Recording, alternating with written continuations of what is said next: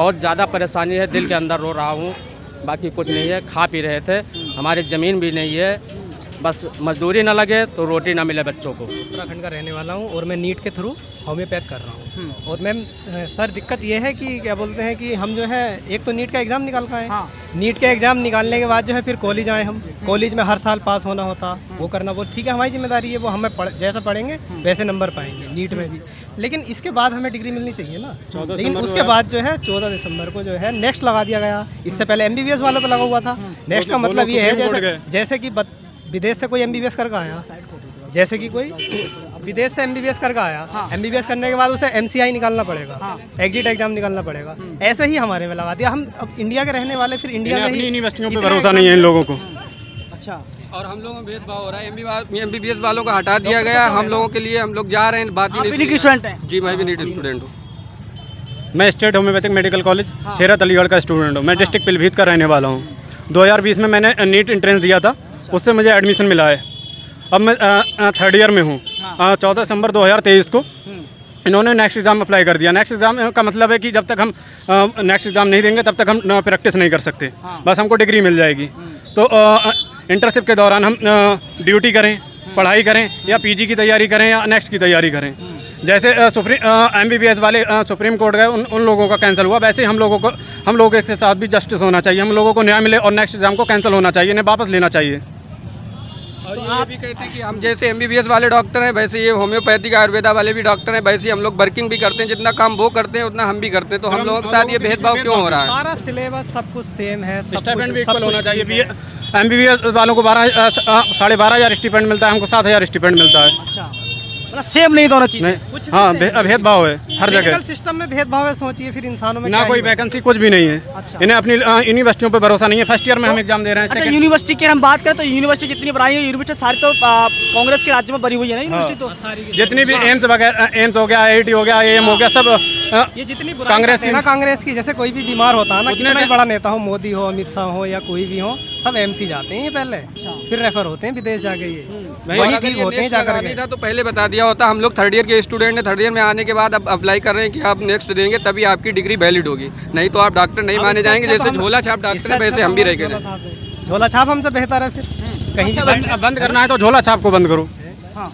लेकिन हम हम लोग तो साढ़े चार साल तैयारी कर रहे हैं एकेडमिक एक साल की इंटर्नशिप कर रहे हैं फिर भी हम डॉक्टर नहीं बनेंगे जब तक हम नेक्स्ट नहीं देंगे। और गवर्नमेंट कॉलेज है हमारा ऐसा अच्छा आपको लगता है कि जैसे अगर जो दिक्कतें चल रही हैं आपकी और बहुत नज़दीक ही चुनाव है इस समय है ना? और राहुल गांधी भी आपके अलीगढ़ में आए हुए हैं आपने देखा जन सैलाब उमड़ पड़ा। और जहाँ भी राहुल गांधी पहुँचते हैं जन सैलाब उमड़ता है क्या जो आ, आप बता रहे हैं कि इक्वलिटी नहीं है एमबीबीएस और इंडी नीट में इक्वलिटी नहीं है। स्टाइपेंड वगैरह भी आपको कम मिलता है उनको ज़्यादा मिलता है। तो क्या लगता है कि जिस तरह से अगर राहुल गांधी सरकार आती है तो आपको स्टाइपेंड और इक्वलिटी सब सब कुछ सेम हो जाएगी आपकी? हाँ होनी चाहिए और होगी बिल्कुल होगी। क्योंकि एजुकेटेड पर्सन है ना। एजुकेटेड पर्सन है एजुकेशन से बहुत फ़र्क पड़ता है उसे पता है कैसे पढ़ते हैं बच्चे कैसे जाते हैं कैसे क्या करते हैं। अब इसका मुद्दा अच्छा मोदी तो शिक्षित नहीं है मोदी जी। किधर से शिक्षित है? पता ना कहाँ कहाँ से तो डिग्रियाँ ले आते हैं। हैं। बाद में खुद ही पहले तो गए थे मैं आठवीं पास नहीं हूँ। उनके पुराने इंटरव्यू देखे जाएँ। आठवीं पास नहीं हूँ मैट्रिक नहीं किए मैंने फिर बाद में वो प्रधानमंत्री अरे पैसे से क्या नहीं आ सकता बताइए। आपकी भी बन जाएगी? आपकी भी बन जाएगी नहीं है तो। सबकी बन जाएँगी। तो जनता परिवर्तन चाहती है वैसे इस बार। हाँ, बिल्कुल परिवर्तन चाहती है। परिवर्तन होना चाहिए। ईवीएम हटाओ देश बचाओ। अच्छा ईवीएम को हटाओ देश बचाओ। हम्म। लेकिन ईवीएम से भी क्या करेंगे? चंडीगढ़ का अगर आप देख लें हाँ, हाँ, चंद्रचूड़ अगर ना हो सर चंद्रचूड़ ना हो तो क्या ही होता बताइए। एक महीने बाद वो मिला उन्हें दोबारा क्या बोलते हैं मेयर का मिला है उन्हें सीट मिली है। हाँ। अगर वो ना हो चंद्रचूड़ साहब तो कुछ नहीं हो सकता बस एक ही है वो स्तंभ। एक ही है बाकी सारे दबाव में है सारे के सारे दबाव में। हाँ। कोई बचा नहीं है। क्या नाम रहा आपका? मेरा नाम अरमान।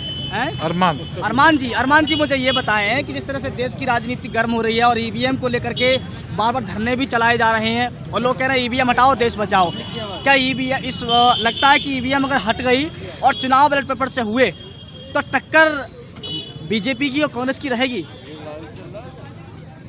देखिए ईवीएम का जहाँ तक मैटर है ना सरकार को जो है ना ईवीएम के बारे में सोचना चाहिए और हाँ। जो जो जनता उनसे डिमांड कर रही है वो जनता की भावनाओं का ध्यान रखते हुए हाँ। और बैलेट पेपर से चुनाव कराना चाहिए। जब जनता ये चाहती है हाँ। तो ईवीएम से क्यों कराते हैं? बैलेट पेपर से चुनाव कराए जाए। सरकार में गरीबों को परेशान किया जा रहा है। हम बहुत परेशान हो गए हैं। हाँ। और पढ़ा लिखा आदमी हूँ गोंडा जिला का हूँ हाँ। यूपी। अच्छा। और कई पीढ़ियों से मैं देखता चला रहा हूँ कि कहीं एक तहरीर नहीं था थाने पे। हम्म। इस बीजेपी सरकार में हम्म। हमें कुछ लोगों ने हमारे दुश्मनों ने फंसा दिया नाजायज फर्जी मुकदमे में। अच्छा आपके लिए? हाँ कमा खा रहे थे उसमें भी बाधा पड़ गया। हाँ। और ऐसा कोई मजदूरी भी नहीं है जो मैं करके मुकदमा भी लड़ सकूँ। हम्म, बहुत ज़्यादा परेशानी है दिल के अंदर रो रहा हूँ। बाकी कुछ नहीं है खा पी रहे थे। हमारी ज़मीन भी नहीं है। बस मजदूरी ना लगे तो रोटी ना मिले बच्चों को। चार पाँच परिवार हैं हम बहुत परेशान हैं।